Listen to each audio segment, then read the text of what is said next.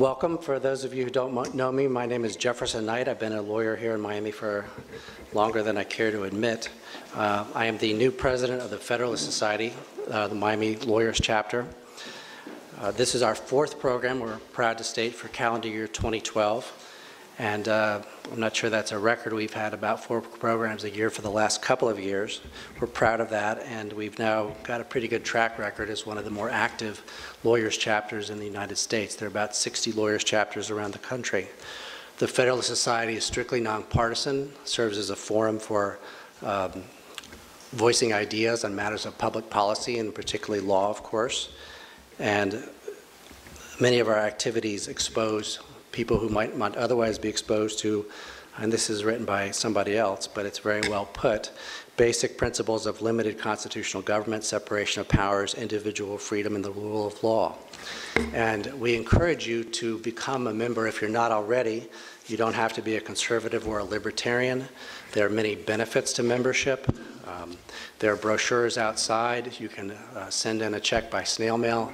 And if you're a lawyer, guess what? It's only 50 bucks. That's a value that's very hard to beat, particularly if you compare it to the Dade County Bar Association, which was a couple hundred dollars. We have several members of the judiciary here today. We always like to recognize them. We have from the county court, we have my little code here, Gladys Perez, uh, Judge-elect Yvonne Cuesta, congratulations to her. Don.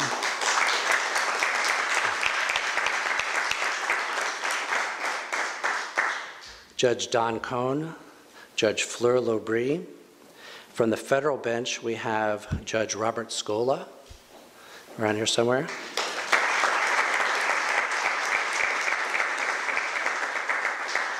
And also Judge Paul Huck.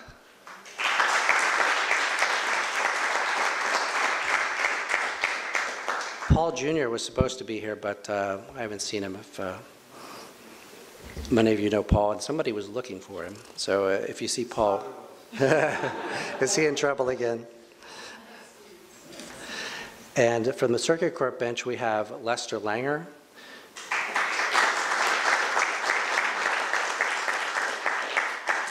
Celeste Muir.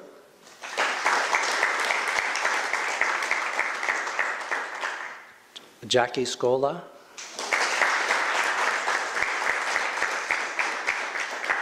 and Maria Korvick.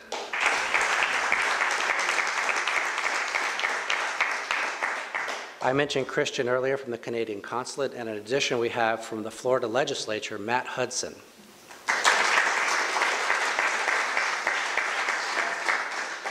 Matt's district includes uh, eastern Collier County and the entirety of Hendry County. If you look it up on the map, it's some really beautiful country. I've hunted in some of it. I think I've listed everybody. Uh, if there's anybody I've left out, you can let me know later. Um,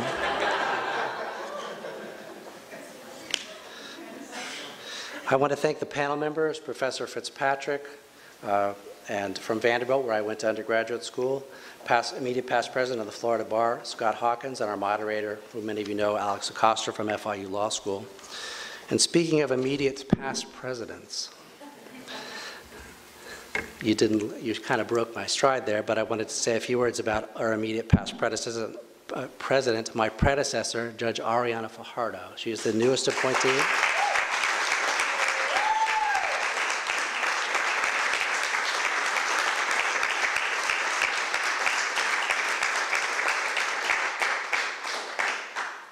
Is she popular? Pop quiz. Who recruited Ariana Fajardo to the Federalist Society? Me. That's exactly right. It's one of my more proud accomplishments. Uh, I met her about four years ago. I was very impressed by her, her intelligence, her demeanor, her uh, committing, uh, her commitment to, as she says, do the right thing. Once I introduced her to a group a couple of years ago, I noted her past as a prosecutor, and I said that she liked putting in people in jail, which I thought was kind of funny. But um, she got up and reintroduced herself, and she corrected me. She says, uh, Jefferson is not correct. I did not enjoy putting people in jail. What I did enjoy is doing the right thing. That's a phrase I've heard her use many times uh, before and since then. Uh, so needless to say, I'm extremely proud of her. And uh, she uh, was president of this chapter for not quite two years, and a lot of people don't know it, but for an entire year before that, she worked tirelessly doing things that are mundane but needed to be done, things like updating the mailing list, the email list. She called me on a Saturday morning and she said, you just volunteered. and if you know Judge Fajardo, you know that uh, uh, when she asks you to do something, generally you don't say no. And I'm also reminded of um, something that um, uh, Third, Court, Third Circuit, excuse me, Third District Court of Appeal, Leslie Rothenberg, a good friend of ours, said, and Ariana has known her for, for many, many years, she said at the, at the investiture of Angie Zayas, who's also diminutive in stature, and Leslie Rothenberg says those are two of her favorites, Judge Zayas and Judge Fajardo. She likes them in particular because they're both smaller than she is. and she said with regard to both of them, wonderful, great things come in tiny packages. Um, and in connection with and to recognize Judge Fajardo's service to this particular chapter, we have a plaque to present to her. I thought maybe Dina Costa took it. The Federalist Society for Law and Public Policy Studies to Judge Ariana Fajardo. How do you say your name, man? In recognition of her distinguished service as president of the Miami Lawyers Chapter.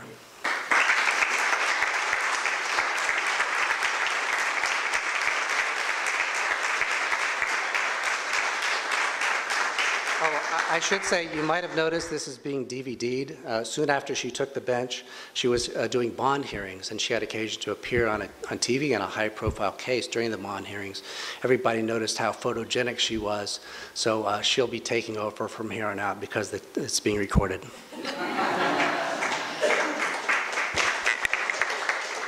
Thank you all. So the first thing I said to my predecessor, President George Perez, I said, boy, I'm so glad it's not me speaking at that podium because I don't think I could see over it. I just, as uh, Judge Shepherd wisely would remind me before each of these events, you're not here to hear us speak, you're here for the panel. So the only thing I want to say is thank you for allowing me to take on the leadership for these two years and for continuing to attend and continuing to lend myself to the tradition of the Federalists. And I so enjoyed it and so enjoyed working with all of you. And I just thank you for giving me the opportunity to serve.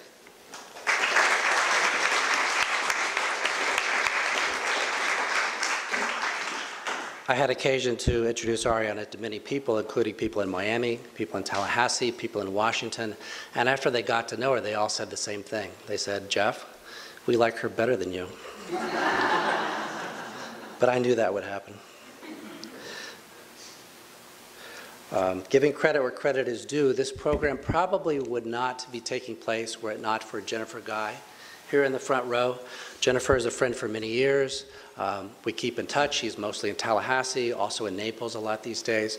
And uh, she and Tom Spencer and I and other people had a dialogue in the spring. We talked about the possibility of something like this. And I said, Jennifer, there's not enough time, there's not enough interest. We really probably shouldn't do it. Well, Jennifer, thank goodness, did not listen to me. She forged ahead and she helped us put together this program. And actually, I went back to Jennifer, circling back and saying, hey, Jennifer, you're right, let's do something. And she arranged for Professor Fitzpatrick from Vanderbilt. And I don't know if you know, saw the handouts, there's a similar program in Tallahassee next month. She was right, there's a lot of public interest here.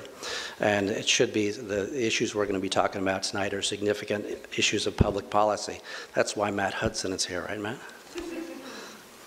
Also, Tom Spencer, I can't remember if I mentioned Tom, he was one of the people in, on the conversations, and uh, uh, without Tom's assistance, it might not have happened. And also, Claudia Murray, Claudia's here somewhere. She might be down the hall. You might have met her checking in. She has done a lot of the legwork, uh, and it's very hard to imagine unless you've done it. I know Judge Fajardo knows exactly how, and Judge Perez knows exactly how much time it takes. Our moderator tonight is Alex Acosta. Many of us know Dean Acosta, uh, proud to call him our friend. He has a very interesting bio. I knew some of it, but not all of it before I looked him up. He's a native of uh, Miami. He went to Gulliver High School, and he got into Harvard, went to Harvard Law School as well. Judge Huck is also an alumnus, I believe, from Harvard. He clerked uh, to Judge Justice Samuel Alito in the United States Supreme Court uh,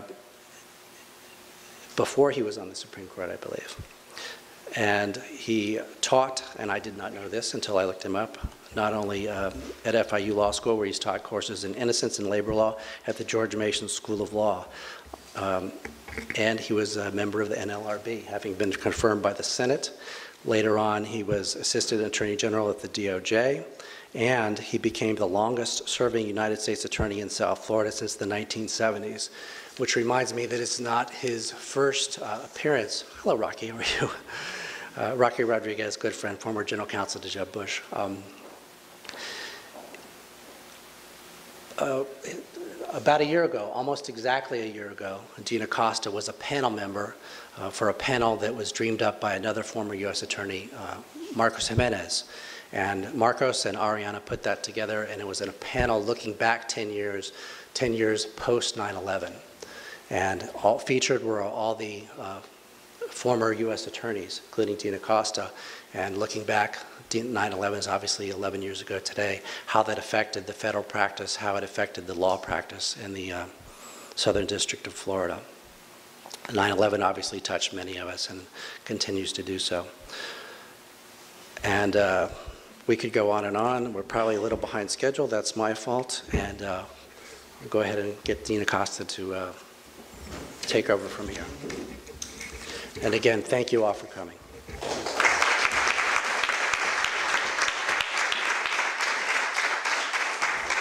Thank you, Jefferson. Um, you know, it occurred to me that this is 9/11, and uh, before before we go on, um, I just wanted to say I, I, think this is an appropriate topic for tonight because, uh, in a lot of ways, uh, I think it's appropriate to dedicate this to the memory of 9/11 because um, the judiciary is so important to our legal system. The rule of law is what makes us different from other countries, uh, what really protects our freedom.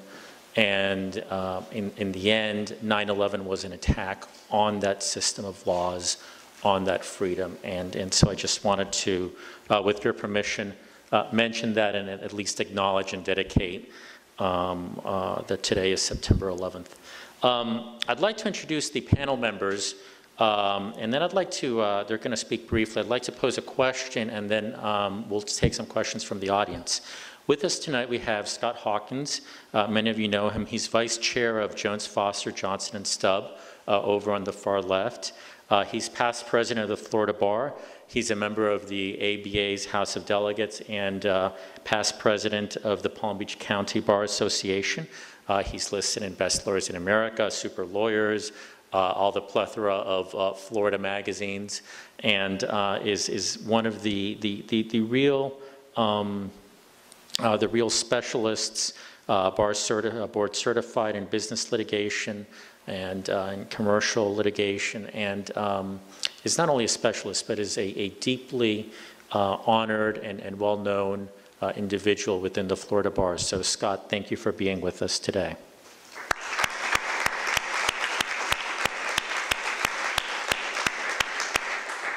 Uh, Scott uh, authored recently a law review piece that was published in the uh, Florida Law Review entitled Perspectives on Judicial Merit Retention in Florida. And um, before introducing our second speaker, I want to uh, mention how he opened it. He opened it with a quote from Chief Justice John Marshall. And the quote was, the greatest scourge in angry heaven ever inflicted upon an ungrateful and sinning people was an ignorant, a corrupt, or a dependent judiciary.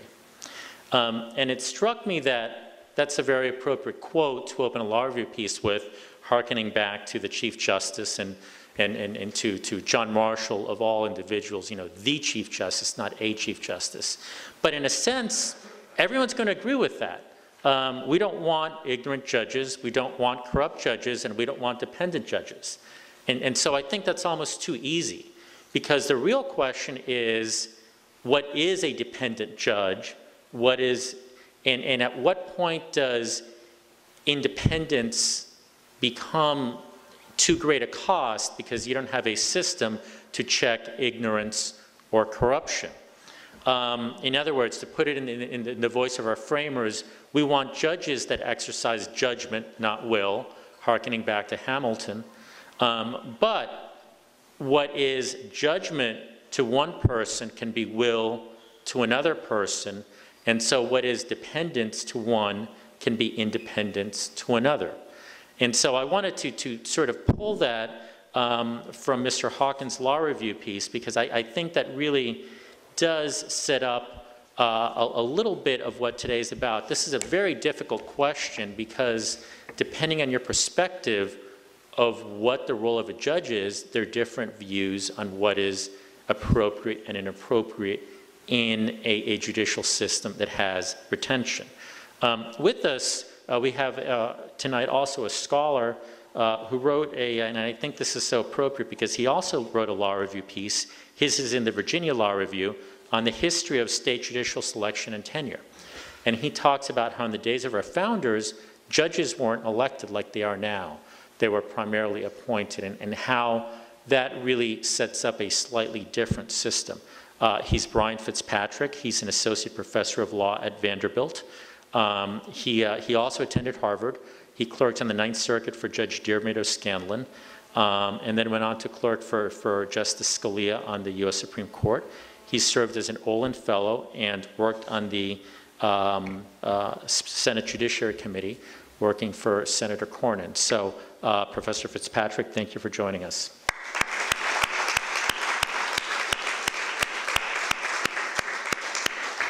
With that, Mr. Hawkins.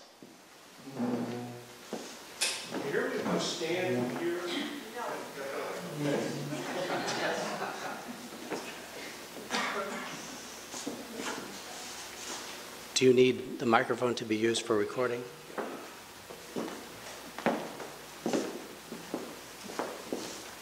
Well, first, may it please the court, Judge Fajardo, that's directed to you. Congratulations on being elected to a constitutional office, I guess appointed. Uh, Second of all, I want to say that my remarks are not the official remarks of the Florida Bar. So please do not construe what I say as representing uh, some official pronouncement of Florida Bar views or policies. And thirdly, I'm not here to advocate a particular position regarding the current system or regarding a particular judge or justice on the November ballot.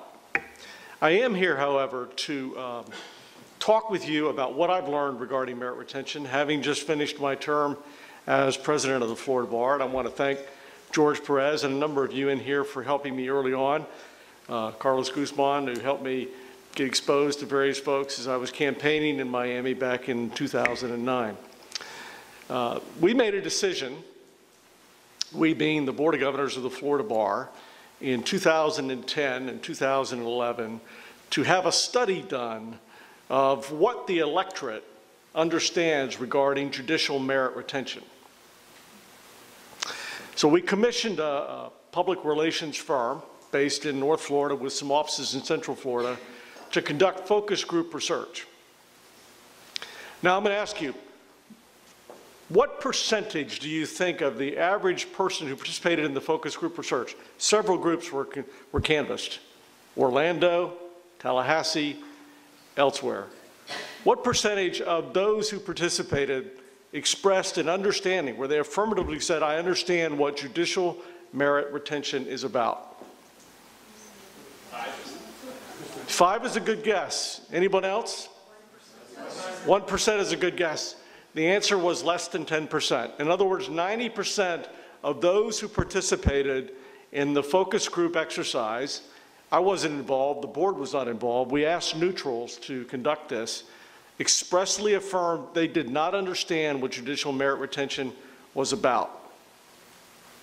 We concluded, therefore, that there is a huge lack of understanding regarding judicial merit retention. And in our sessions around the state, and in my speeches around the state last year, I came to learn that not only is there a great lack of understanding about judicial merit retention, and I want to commend Richard Levenstein, who's a former vice chairman of the Constitutional Judiciary Committee of the Florida Bar, which led that study.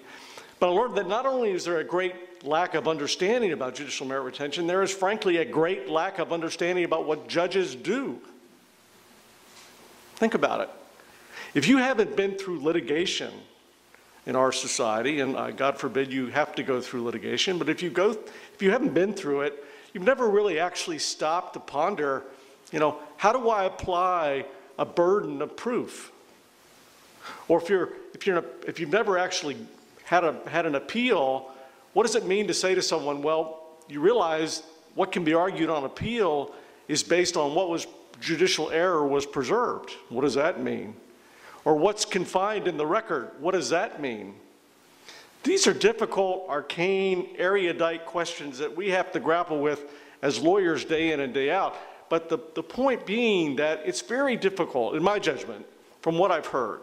And I haven't read empirical studies on this, and I'm sure Professor Fitzpatrick is much more well versed on this. But from what I've seen and heard, the average person simply doesn't have a great, real bedrock understanding of what judges do day in and day out. So if they don't have that great bedrock understanding, how can an electorate be asked to assess whether someone should merit continuation in office? It's a fair question, I think. But I'm not suggesting they shouldn't have the right to assess. What I'm suggesting is, is that the system we have today has a lot of opportunities for misinformation, a lot of opportunities for labeling judges particular ways in a system where judges really can't defend themselves. You label Judge Hawkins an, uh, an activist. I can't really explain, you know, why I've ruled the way I've ruled. And I'll, and I'll give you a confession. I'm a moderate Republican. So that's my orientation. I'm all about balance and moderation and how I view the world. That's my perspective. But if you attacked me as an activist and I'm a judge, I can't defend myself. I can't explain, oh, I decided my ruling three years ago on the fourth DCA a certain way. We don't permit that. So what we need to think about is how do we enhance the level of understanding and communication uh, to the electorate regarding these very precious offices like Judge Fajardo has succeeded to, succeeded to, constitutional officers. A very vital role in our democracy, and, and I'm not suggesting voters shouldn't have a right to vote. What I'm suggesting is, is that our system, and our system has functioned fairly effectively now for 36 years. And our system was put in place by what mechanism? Does anybody know?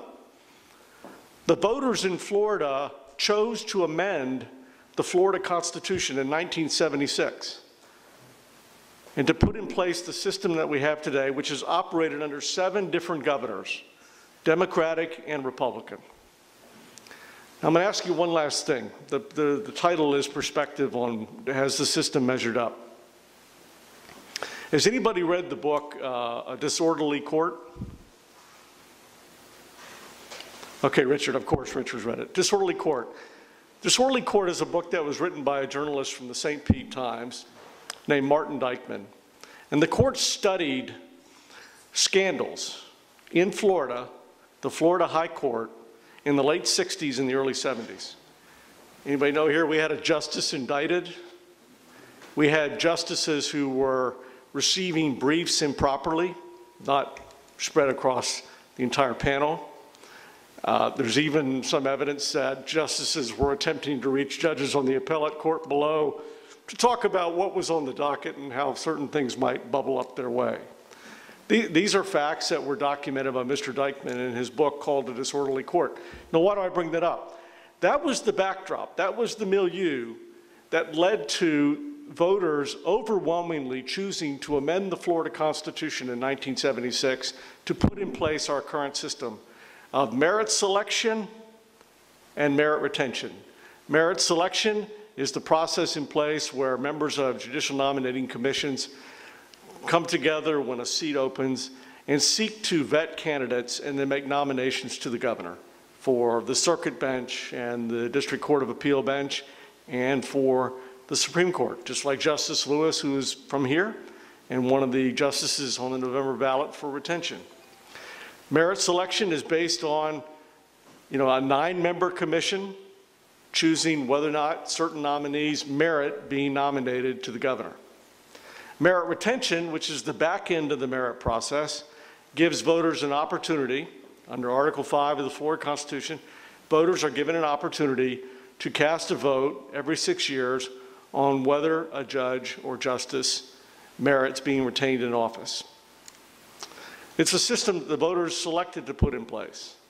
Uh, Now, you tell me of a scandal regarding judicial corruption since 1976. Yeah, there have been some outliers, of course. And the JQC process in Florida is very aggressive at addressing judges who misbehave. But I'm talking about the type of scandal that, that riddled our high court in the late 60s, which led to the system we have today. I'm communicating this with passion because I've been talking about it for the last 12 months as just finishing my term of office. Uh, President-elect Gwynne Young, President Gwynne Young and President-elect Gene Pettis are continuing that effort across the state, and many throughout the state of Florida.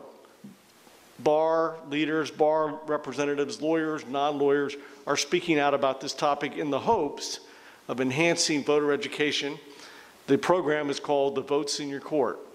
I, I look forward to the dialogue tonight. This is an extremely important topic.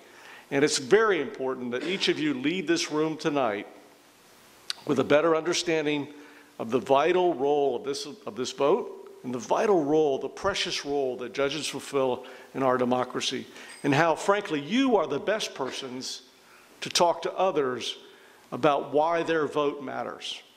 Because the vote is in your court. Thank you.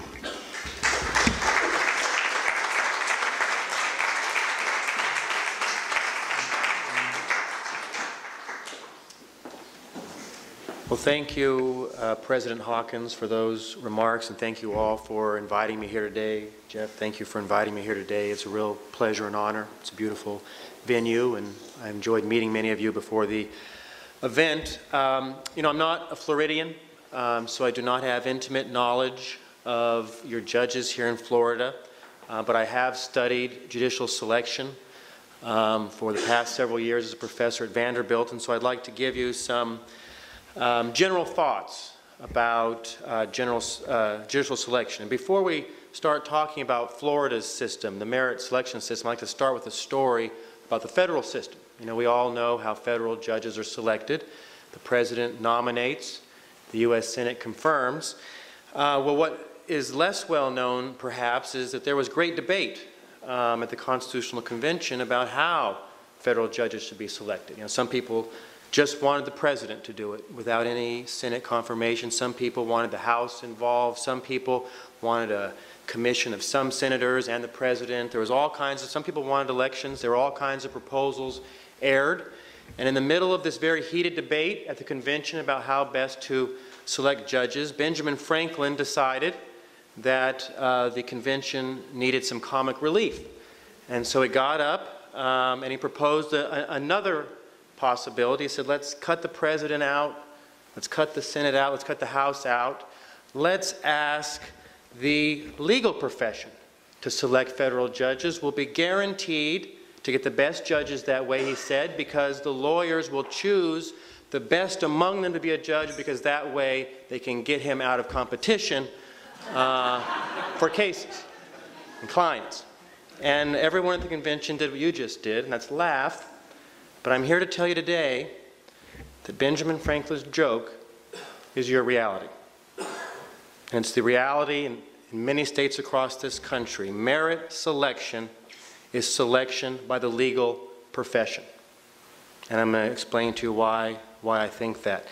Um, so merit selection uh, was um, an idea that was born in the progressive era, um, about 100 years ago now. And like many progressive era ideas, it was based on the notion that the best government is a government run by experts. Experts. And the progressives thought, well, who are the experts when it comes to picking judges? Well, it must be the legal profession.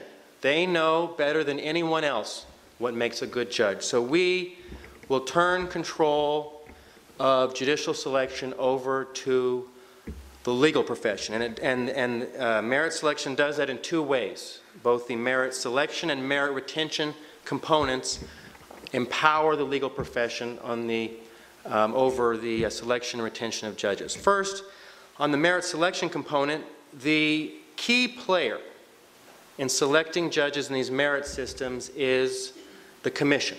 The commission controls everything. The governor cannot pick someone unless the commission gives the governor the name. Now, who sits on the commission? Well, in many merit states, the commission is chock full of people that are picked not by the governor, not by the state senate, not by the state house, not by the voters, but by the bar. Uh, Florida is not as bad as some states, but it's no exception. Four of the nine spots on your commission are selected by the legal profession. So that gives almost half of the power over who your judges are to one special interest group, the legal profession. The rest of the people of this state get five spots, one special interest group gets four. Uh, that's a lot of power to the legal profession. It's not as bad in some, as some states give a, a majority to the, to the bar, you give four out of nine to the bar. Um, the retention vote. This, I think, solidifies the power of the bar over selection because it is virtually impossible to lose one of these retention elections. It's never happened in the state of Florida. In all those years, you've had merit system here. And that is not much of an aberration across the country. In Tennessee, we've had a merit system for 40 years. Only one judge out of 120 has ever lost. You look at the national statistics, 99% of the time judges running for retention win. That's an incumbent reelection rate unheard of anywhere else in the country, for any other office in the country. And the 99% number, you only get 1% that lose because you have the state of Illinois that requires a 60% vote to gain retention. Most of the judges who've lost have been in Illinois. Take them out, closer to 100 than you are to 99. Uh, it's impossible, it's almost impossible to lose one of these things, and so you basically end up with judges who have been selected in large part by the legal profession that have life tenure.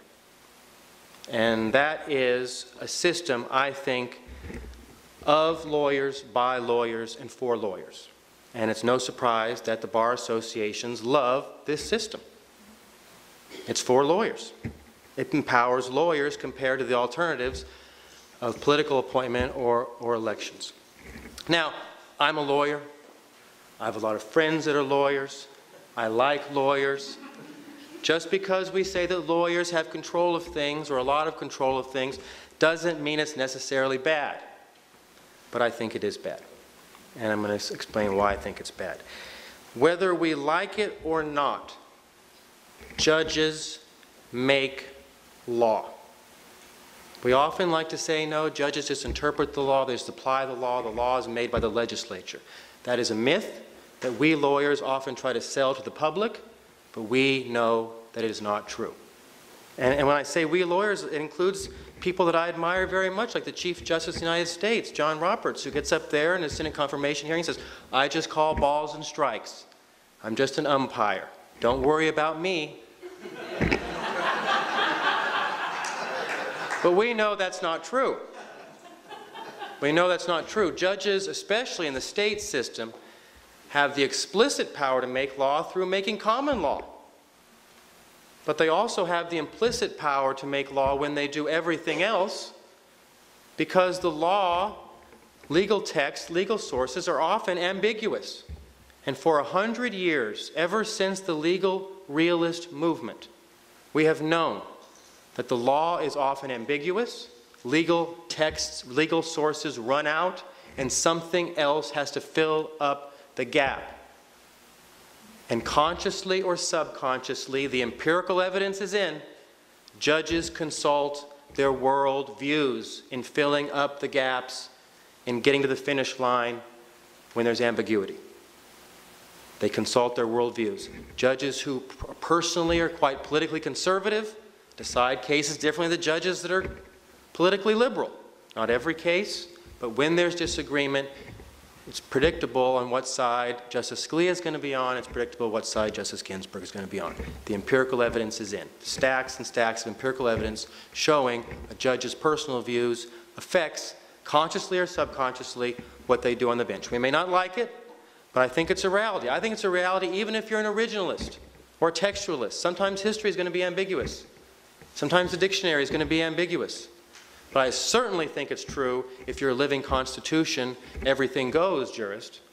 There it's hard to do anything but consult your worldview. And so we have judges who are making law and consulting their worldviews. Now, we know this. We know this. We practice in front of the judges. We know. We see, we, we, we see their opinions. We know different judges mean different laws are going to be made. Um, now, the trouble with giving the bar control over selecting judges then is that whoever selects judges is going to care about what kind of laws are made. I mean, whoever selects them. If it's the governor, if it's the state senate, if it's the public, they're going to care whether gay marriage is constitutional or not, whether abortions are constitutional or not, whether tort reform is constitutional or not. People are going to care about the outcomes of cases. The public's going to care, the governor is going to care, even the lawyers who sit on this commission are going to care what kind of laws are the judges in Florida are going to make. The, the lawyers sit on the commission may care more than anyone else, in fact. I mean, their livelihood, to some extent, depends on what these judges do. Um, and so, the problem with giving lawyers control over the selection of judges is that you end up with a situation where lawyers are going to pick judges that make the kind of laws that lawyers like. And the kind of laws that lawyers like may not be the kind of laws that everyone else likes. There are some people out there, I don't know, you may think they're crazy, but some people out there that think that the legal profession is a little bit to the left of the general public on a lot of things. Now, I don't know what you're doing down here in Florida that you had a moderate Republican as the president of your bar. Haven't heard that before. But as a general matter, I think most folks think that the legal profession is a little bit to the left of the general public. And if you have the legal profession picking judges, one concern is you end up with judges that are a little bit to the left of what they would be had they been picked by the governor, picked by the political process, picked by the voters. Um, now, again, that doesn't mean that's necessarily good or bad. Maybe you like really liberal judges. In that case, merit selection is a good deal. But if you want judges that reflect more than just lawyers' views of what kind of law should be made, maybe um, a different system is better. Now, when we start asking the question, is a different system better? You know, one thing we have to ask ourselves is, okay, perhaps you're right, Professor Fitzpatrick, that we're going to end up with judges that are accountable to the legal profession and not to the political process or to the public. Um, but aren't there maybe some benefits to merit selection that offsets what may be a cost in that regard? Well, there are some benefits to merit selection, and we need to consider them, but it turns out there's just not that many, and the few benefits there are are not that good. Um, so let me start with what I think was, in my own view, the biggest selling point for merit selection. That is, you're going to get smarter judges. As, as um, you know, President Hawkins said, the public doesn't know, um, you know, the, the, law. They can understand the law. You know, maybe the governor has lawyers who could understand the law, uh, and therefore maybe he doesn't need the bar to tell him which people are good candidates. But the public certainly doesn't really understand the law very well. So you'd expect that merit systems lead to smarter judges, better judges, judges who write crisper opinions, who do better legal research. Um, the political scientists have examined this question, and they find no evidence that the qualifications of judges, um, the performance of judges is different depending on whether you elect them, for example, or use a merit system. Quality of school attended, number of years of experience as a lawyer, judicial experience, et cetera, et cetera, no difference in elected states versus merit states. Some um, law professors have looked at how often a judge's opinion is written, uh, is quoted in a different jurisdiction. as a sign of quality. You know, if, if your opinion is cited in a different jurisdiction, it doesn't have to cite it, it's a sign of quality. And uh, these professors have found that elected judges, their opinions are cited more often than judges produced in merit states. Um, So there's no evidence about that. What about the question about politicking? Is this a sign that I need to move on? Um, In a few minutes, I want to make sure the time's up. Okay, I'm almost done. What about uh, the point about um, there's less politics in a merit system than some of the other systems? Um, It depends on what we mean by politics. You know, if we mean the judges consulting their own worldviews less frequently, I think that's wrong. I think judges, it's inevitable they're going to consult their worldviews all the time because the law is often ambiguous. Um, But I do think that merit selection has the potential to produce less politicking than other systems. I mean, certainly compared to contested elections, there's less politicking in merit systems, less fundraising. That's the big problem in elected, um, contested elected systems is the fundraising. Although even here in Florida, I understand there's still quite a bit of fundraising going on here.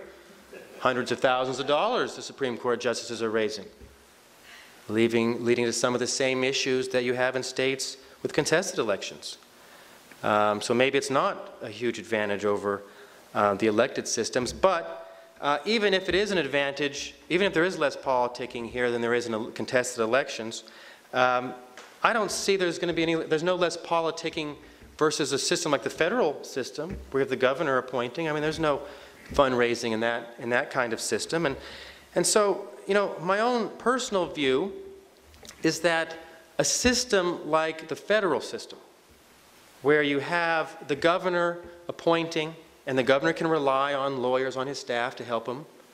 Um, the governor appointing without the legal profession tying the governor's hands, I think gets you something that's closer to the best of both worlds. You have a system that where the judges are going to be accountable to the governor, who is himself accountable to the people. And you have a system where you're not going to have a lot of fundraising like you do in contested elections. And so I'm an advocate of the federal method of judicial selection. And I just want to add one last point uh, before I go, and that is I did want to say one thing about whether it's ever appropriate in the, in the merit retention aspect, whether it's ever appropriate for voters to vote a judge out of office because the voters don't like the judge's opinions. The voters don't like the judge's conclusions or outcomes that the judge has, has come to in, in the judge's cases. And I think, of course, it's appropriate for the voters to consider whether they agree with the judge on whether abortion is a constitutional right, or gay marriage, or tort reform, or this or that. Some things the voters can't figure out, granted, but some things they can. And I think it's perfectly appropriate for voters to consider those things. The judges are consulting their own worldviews and making those decisions. I don't think the voters should be denied the right to consult their worldviews when making those decisions as well. Thank you very much.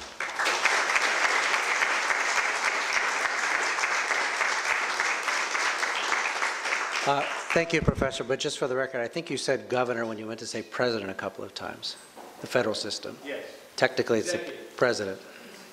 Um, We're running late, however, historically, we've had a very engaged and inquisitive audience. I- It looks to me like it's exactly the same tonight. We want to have some questions. Dean Acosta had an idea that I think is a good idea I hadn't thought of. His idea was to have the panelists stand up before the mic and field questions, and probably I'm the logical person to field, no, let's let the moderator do it. I've hogged enough time here. Uh, But uh, I did want to throw out one idea, which I meant to mention earlier. You might have noticed, you're here by invitation, there are two versions of the invitation floating around. One I put together, sent to DC, came back a little different. The people in DC said the phrase, and this is something I'd never thought of, and I punished myself because I consider myself a thoughtful guy. The very phrase merit retention is a loaded phrase. Think about that.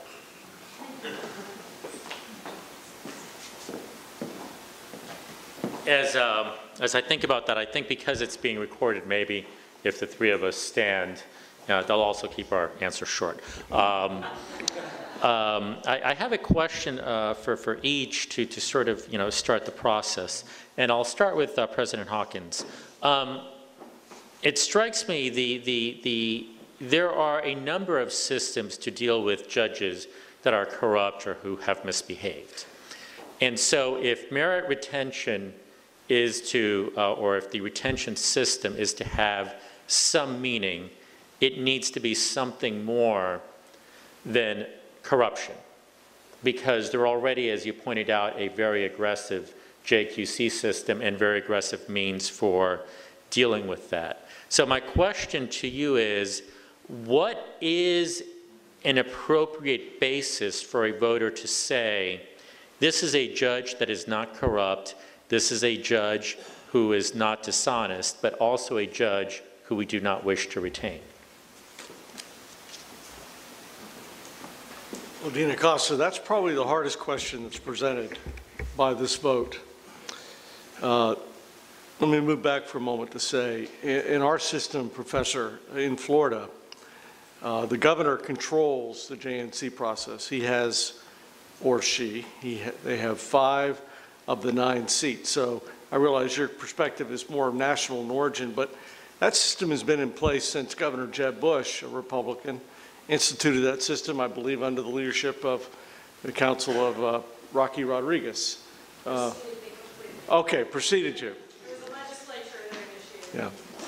So it used to be that we had, the- the bar had uh, contributed three seats, the governor three seats, and those six seats picked, picked three more. But today, the governor has five, and curiously, many of those appointed by the governor are lawyers, not laypersons, presently under Governor Scott, for example. So I think that somewhat, you know, raises a question about your position that lawyers must be um, must be biased because Republican governors are appointing lawyers to play a role on the JNC in the five-person majority. But I realize your comments were more of a national focus.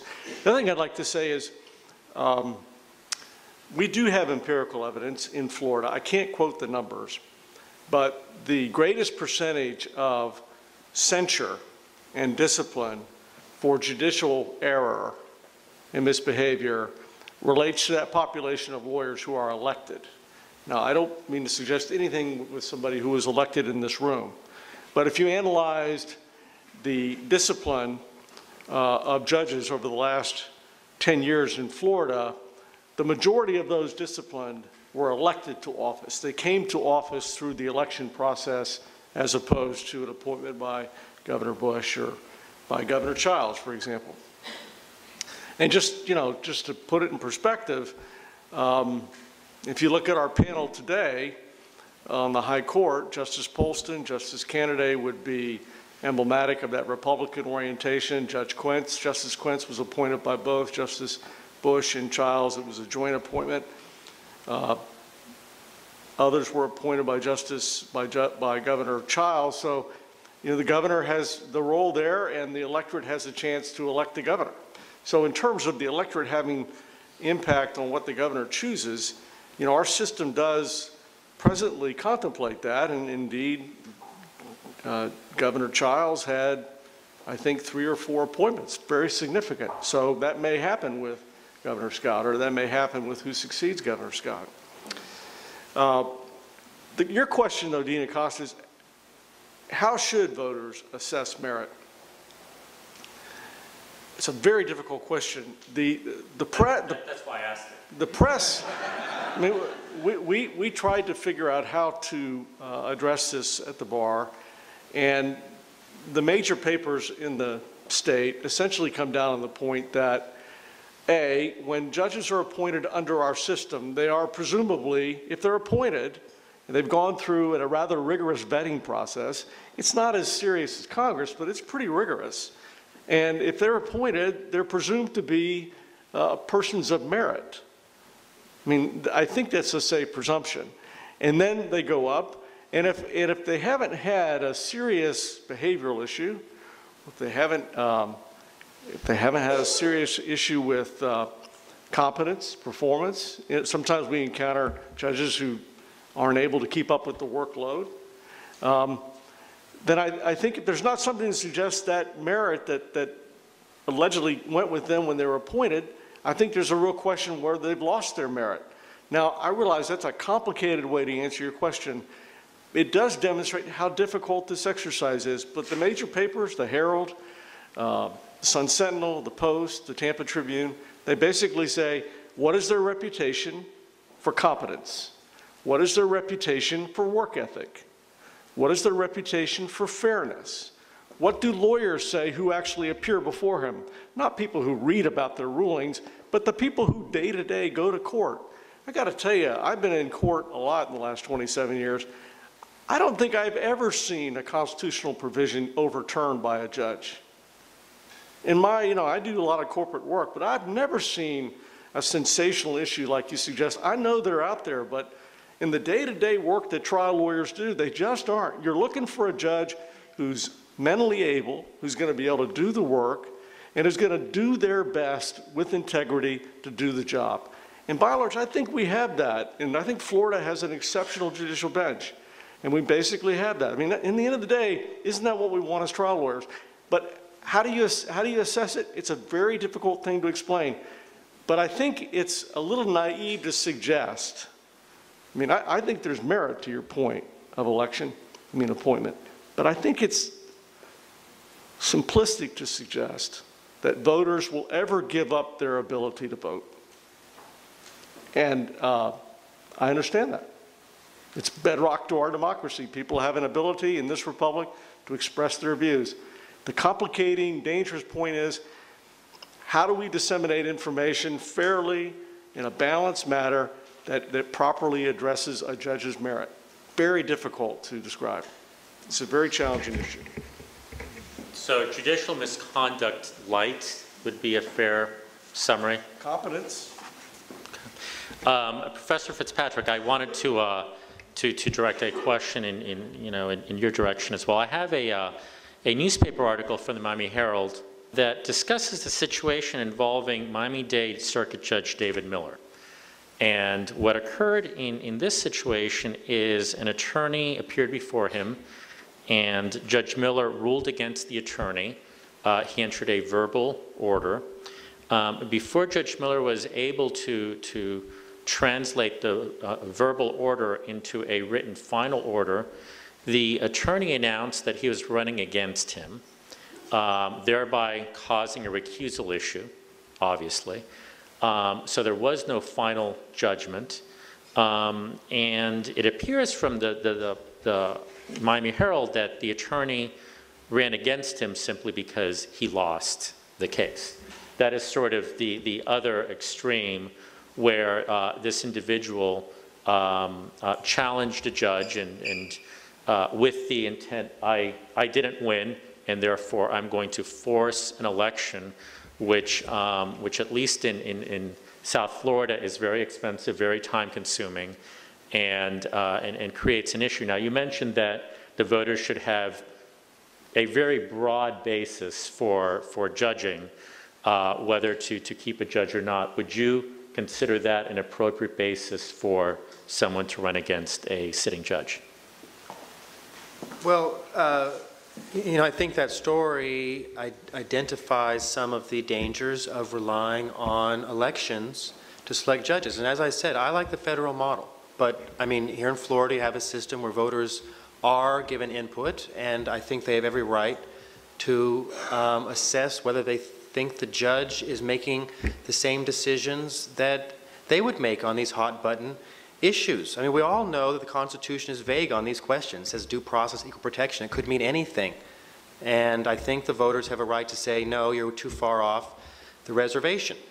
Um, and, and that's why I don't like elected systems. But I think some of those same issues are brought up even in, in the Florida system for appellate judges because these judges are raising a lot of money.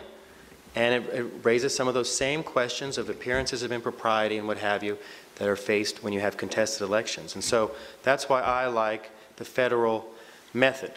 And I did want to just say one more thing um, in response to what Professor Hawkins, or um, uh, President Hawkins said. He, made a very good point, which is, which, which is that in all of these systems, in all of these systems, lawyers are involved. Um, in the federal system, the president has a whole office, Office of the White House Counsel, that's helping him. I, my objection is not to involving lawyers, but there's a difference between the governor picking the lawyers and the bar picking the lawyers. One special interest group chooses the lawyers. It's different than someone who's been elected by the entire state or the entire country picking the lawyers. So nothing wrong with lawyers, but it's who selects the lawyers that concerns me. Yes. I got a question, I guess, for the professor. You said you kind of favor the federal system, but, you know, here in Florida, circuit judges, county court judges are elected by the people. They're not appointed, they don't sit for merit retention or selection. But appellate judges, both uh, district courts and the Supreme Court are appointed in that way. So if you advocate a federal system, are you advocating lifetime appointments for federal, for appellate judges and Supreme Court judges? It seems to be in contradiction to your concept that then the people have the right to vote them in or out, because in the federal system, they don't. So is that the same system you're advocating here for Florida on the appellate level? For purposes of the tape, do we need to repeat the question, or did you put? Um, The, the, the question, if I can capture the essence, was, uh, Professor, uh, you, you seem to be advocating a federal system that, that includes uh, lifetime tenure, yet at the same time, you seem to be advocating a system where voters, under a retention or election system, uh, should be able to, to cast a vote to remove a judge um, on a very broad uh, basis, um, um, uh, including, we just disagreed with the rulings. Is there a contradiction in, in that, if I captured the essence of the question?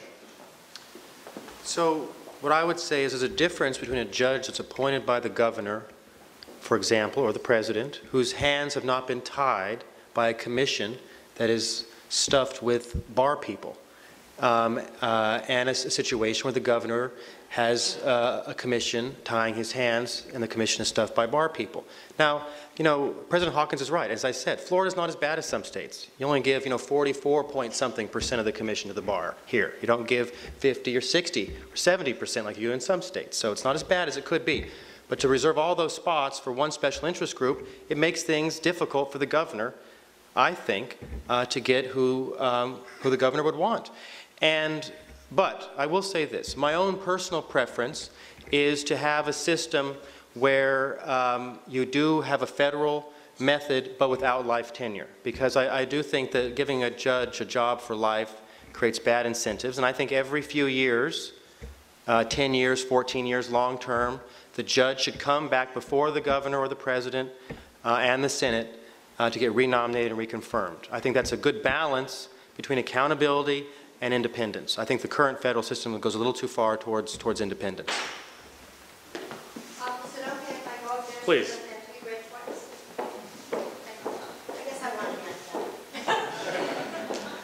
Hi, my question is for uh, Mr. Hawkins.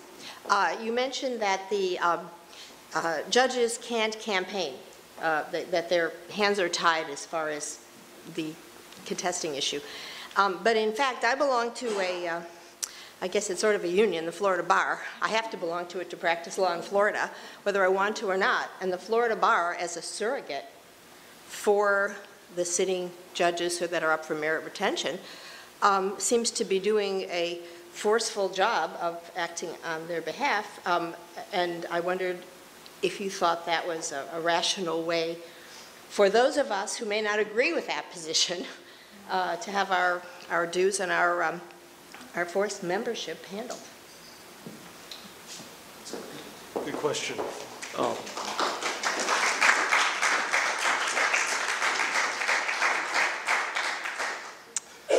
Uh, The Florida Bar's focus on the merit retention election uh, is reflective of a 30-year commitment to voter education. So this has been something that the Florida Bar has done uh, since merit retention elections went into place in 1976.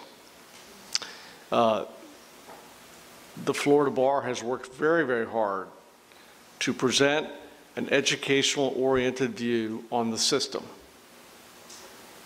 Uh, What do judges do? What do, what is the merit retention issue about? How did we get here? What is, what is the process about? Uh, There appears to be no other body, frankly, in our state willing to talk about the issue. So uh, we have as one of our missions the improvement of the administration of justice. That's part of your pledge when you join the Florida Bar. The Florida Bar is an integrated bar. In Florida, that means in Florida, we oversee licensure, we oversee education. You cannot practice within the state of Florida unless you're a member of the Florida Bar, and it's been that way since its formation, I think, in 1952. In New York, there are a few states where it's different, Uh, but it's been that way for a very long time. Um, We have worked very hard to not represent in this program support for one particular justice or judge, for one particular court or position. We do think, though, we have an obligation to try to educate. And we do think, though, that if somebody's not going to step forward and provide that education, you tell me of a body that's otherwise educating in an organized way, I'll look at it, but in our studies, there are none. And we frankly think we would be under tremendous criticism from our bar membership if we didn't come forward and say, voters, this is what this is about. This is gravely important. I mean, you're talking about constitutional officers. You're talking about people who day in and day out have to make very, very important decisions on what comes into evidence and how do you apply law. These are very, very vital roles. And somebody needs to talk in a balanced, informed way about the importance of this vote. And the Florida Bar Board of Governors, 52 members, about half of whom are from the other party, you probably didn't realize that, that may make Florida unique, but they voted to, to go this way. Now, if you have a question about your dues, call the Florida Bar. There are ways to be exempted. Not advocating that. Every year we have, you know, a small percentage of folks say, I don't want my dues used in this way. But um, overwhelmingly from our membership, the support has been, you know, thank you for being so organized this year. But again, this is something that we've been doing for the last 35 years, since merit retention went into place by the voters electing to put it in place. Good question. Thank you. Please, please do. Um, I just got a quick question. I I heard um, Mr. Hawkins, and I, I understand what you're saying, um, but your name is? um, Fitz- Fitz- Fitzpatrick. Um, I agree with almost 99% of what you said, but there was some ambiguity, uh, and maybe it's on my part, if you can correct that. At one point, you advocated that the people should have a choice on who the judges should be. And then at the end, you advocated that it should be a federal system, okay? Now, as for me, like in Florida, maybe this is maybe another topic, judges can't, now correct me if I'm wrong on this, judges can't get up there and tell the public when they're running what their political uh, leaning is. They can't do it. So in my opinion, that's the reason why many people don't even vote for judges. Okay? And when you do see a judge, you figure out, okay, what, okay, this person's a nice person, okay, got a family, had a business, so what? So does millions of other people. I want to know, what is their worldview? Where do they lean? Are they liberal, conservative, libertarian, whatever, see? But for you, if you can just clear that up in my mind a little bit, is that, you Yes. see what I'm saying? Okay, thank you. I, um, sorry if, if I, if I wasn't clear on that. Um, I do want to say, though, that when I was a law clerk for Justice Scalia, the justice wrote an opinion in a case called Republican Party of Minnesota v. White, five to four, where he held, the court held, that you do have the right to tell voters your views on all of those things per the First Amendment to the United States Constitution. Um, And we struck down the ABA canon that had been used in lots of states. There's a new ABA canon now. I think it's just as unconstitutional as the, as the last one. Um, But I think judges do have the right to tell voters. Judges don't want to tell voters because they've loved for years being able to say, I can't tell you where I stand on any of these issues. It's been very convenient, very convenient. But, um, so I think I would rather have my judges accountable to the public than to the, to the bar. Um, But there's a couple of ways to do public accountability. One way is direct accountability with people voting. The other way is indirect public accountability where the public's views are filtered through elected officials. and I prefer the elected officials route because I personally believe that voters are not in the best position to judge the worldviews and other judicial philosophy questions that judges, uh, they need to confront in order to select judges. I think it'd be better to have elected officials who can rely on legal staffs do that. Um, But in Florida, you're stuck with a system where you have the retention vote, and I think it should be used in a coherent way. I, uh, I think we have time for one more question. Rocky, did your hand go up?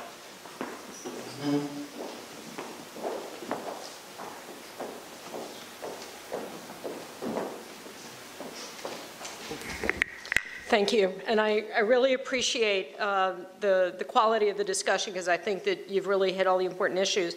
I have a couple observations and, and I appreciate comments from both speakers on it. One, I've been involved in judicial selection, both advising a governor and as part of a JNC and as part of a voter. And I can tell you that I feel utterly incompetent in voting on a judge unless I personally know them. And uh, if, if there were a system where people would fill out the same kind of application that they have to submit for the JNC process, I'd feel a lot better about having an election or even a merit retention. But most of us don't have enough information. And the reality is the people who control judicial elections are newspapers.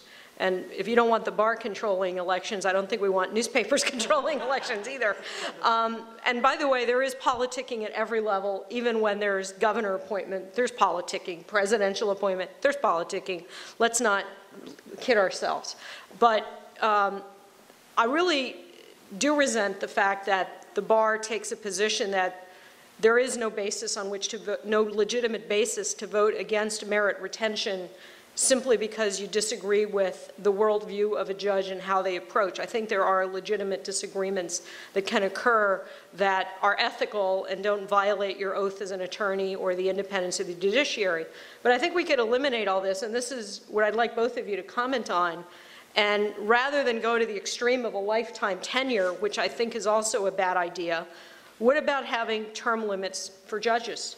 A, a reasonable term limit, 12 years, 15 years, some period like that where you're not dissuading very successful lawyers from applying, but you're also uh, not subjecting them to elections or to the uh, merit retention uncertainty, uh, and you're not subjecting them to the political process. Because I think it's also dangerous to have a judge have to come before a, a governor or legislature to justify the remaining on the court. So what do you think about just give them 10 or 12 years, some reasonable period, and then they can go back uh, to being a law professor or uh, a lawyer or do something else or apply for some other position.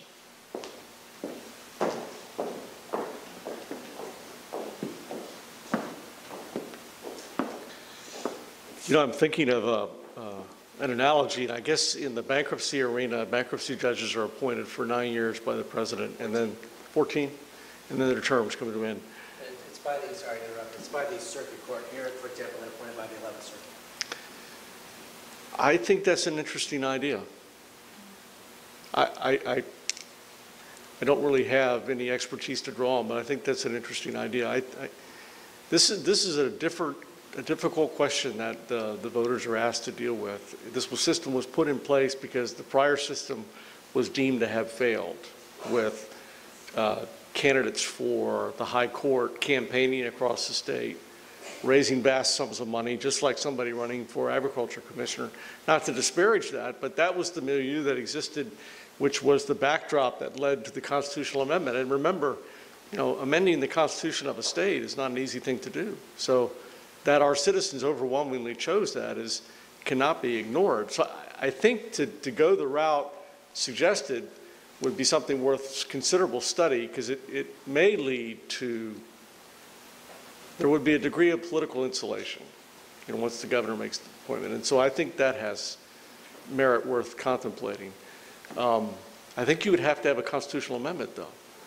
So, and that in and of itself could be an interesting exercise in, you know, constitutional politics, to have that, that national debate or statewide debate. I, I do want to observe that in the JNC process today, the bar nominates its four JNC candidates, and I think it has to present three or six for each seat, and then the governor selects of the group. And if the governor doesn't like any of the nominees, the governor can reject all six and request new nominees. And that's happened.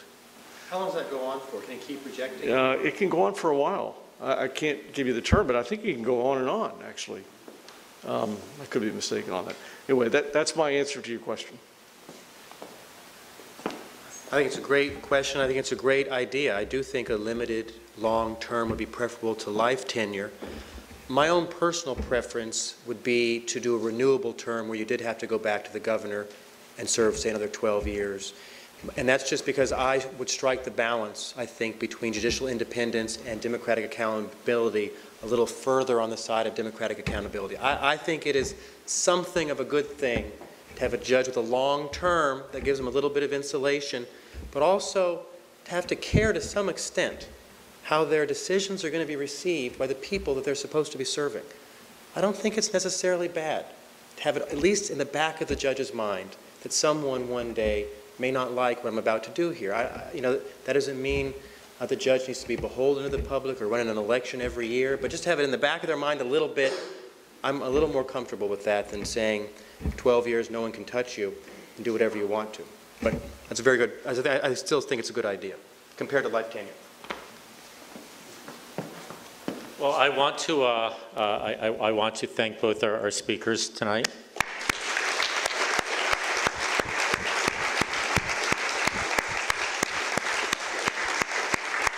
And before, uh, before I ask Jefferson to close, I just want to, uh, to restate the obvious, which is that this is a timely issue.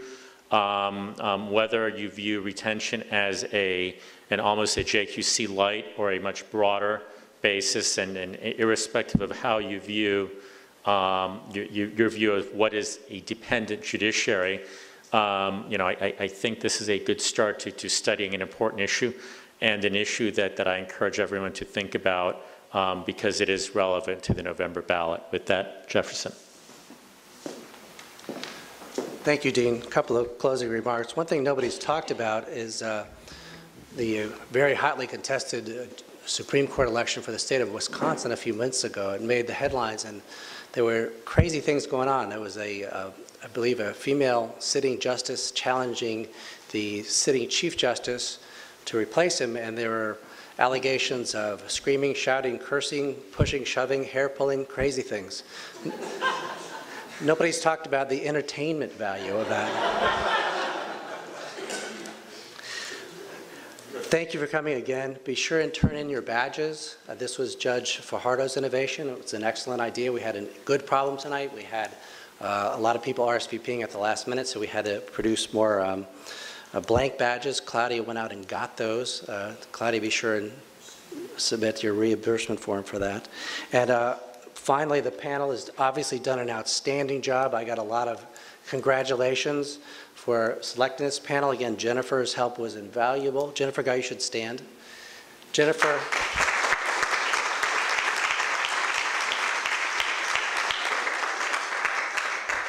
Jennifer is an experienced and knowledgeable and thoughtful student of public policy in the state of Florida. If she doesn't know anything about it, it's probably not worth knowing. And uh, also, I'd like to thank the panelists. I spoke to Mr. Hawkins on the phone. I know Alex. I spoke to him in person, traded emails with Professor Fitzpat- Fitzpatrick. All of them have one thing in common. They immediately, without hesitation, accepted our invitation. We thank them for that.